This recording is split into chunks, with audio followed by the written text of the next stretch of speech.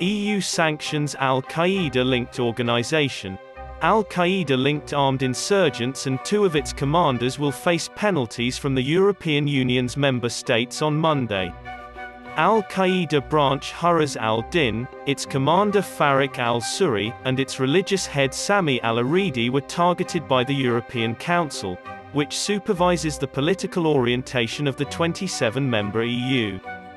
To oppose terrorism, a non-profit group called the Counter-Extremism Project says Hurras al-Din was created in late February 2018 when seven Syrian rebel factions merged, with ten more joining in the months that followed.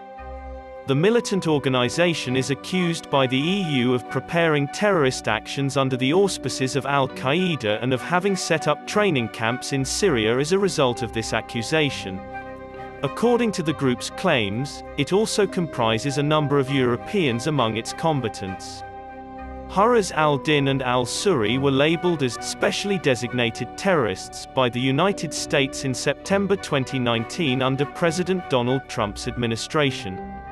There was also a $5 million reward offered by the Rewards for Justice program of the State Department. To far, the EU has targeted 10 people and 3 organizations with links to ISIS and al-Qaeda since September 2016, when automatic sanctions were made possible.